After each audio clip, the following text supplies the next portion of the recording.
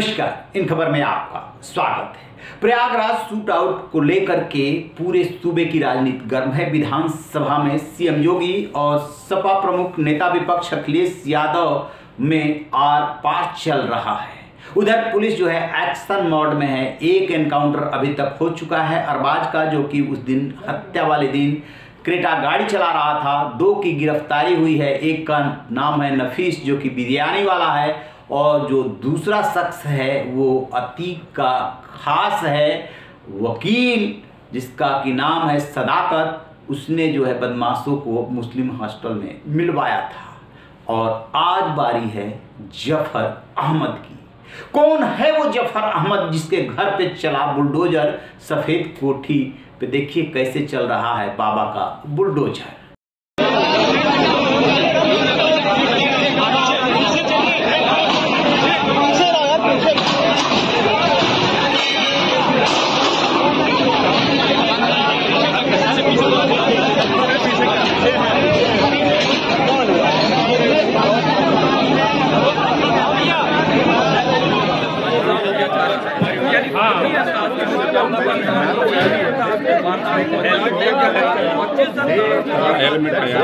देखा आपने?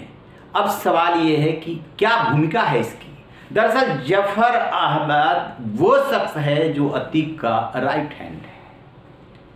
उमेश पाल के हत्यारे इसी मकान में रुके थे। अतीक अहमद की पत्नी साइस्ता प्रवीण से जो अपराधी है उनकी मुलाकात यहीं पे हुई थी, यहीं पे साजिश रची गई थी।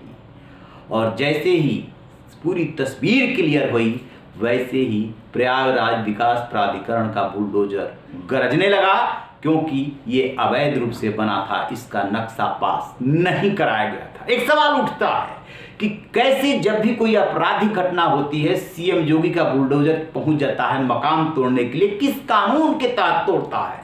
तो आपको बता दें कि इसमें इस बात का ध्यान रखा जाता है कि जो मकान बना है, वो नियम कानून के मुताबिक बना है कि नहीं बना है, नक्शा पास है कि नहीं पास है पास है तो कितने का नक्शा पास है, कितना अवैध है, तब जाकर के कार्रवाई की जाती है। इस मकान पे जो बाबा का बुलडोजर गर्जा है, वो इस आधार पे गर्जा है क्योंकि इसका नक्शा पास नहीं था।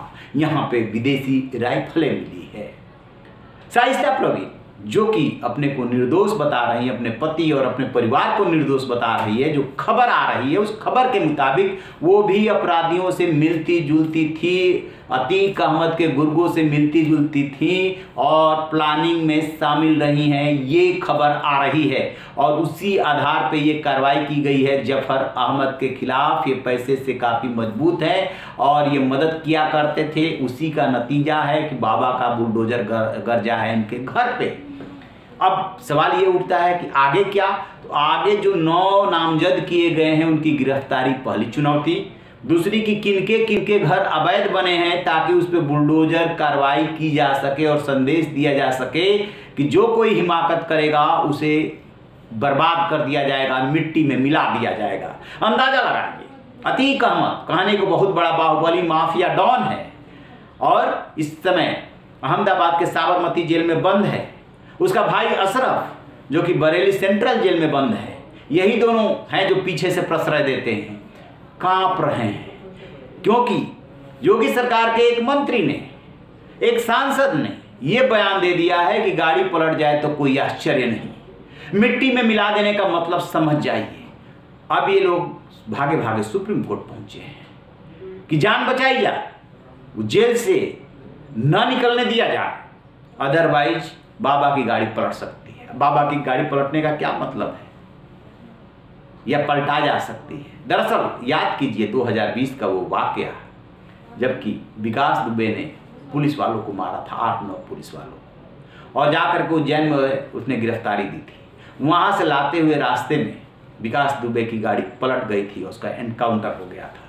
तभी से ये मुहावरा बन गया, कहीं गाड़ी पलटना चाहे उसमें सुप्रीम कोर्ट के रिटायर्ड जज की अध्यक्षता में जाँच भी हुई थी। छुआ नहीं। और ये मुहावरा बन गया और खूब लोग चटकारे लेकर के बोलने लगे और उसी गाड़ी पलटने के डर से अतीक अहमद थर थर काँप रहा है। और इधर जो है, बुलडोजर चल रहा है ज़फ़र अहमद के घर पे, जिसे सफ़ेद कोठी के नाम से जाना जाता है। तो अब जो कार्रवाई शुरू हुई है, उस कार्रवाई के बाद माफियाओं में साफ़ साफ़ संदेश यूँ तो संदेश पहले से था। लेकिन जिसने भी हिमाकत की, जो मतलब जिसने भी ये प्लानिंग की, वो यहाँ तक सोच ही नहीं पाया कि इसके बाद अंजाम क्या होगा। वो अंजाम अब पता चल रहा है कि एनकाउंटर से लेकर के और घर ज़मीन दोज करने तक सब कुछ होगा, क्योंकि सीएम जोगी बोल चुके हैं कि मिट्टी में मिला देंगे। रही ना बेखबर, देखते रहिए इन खबर। Thank you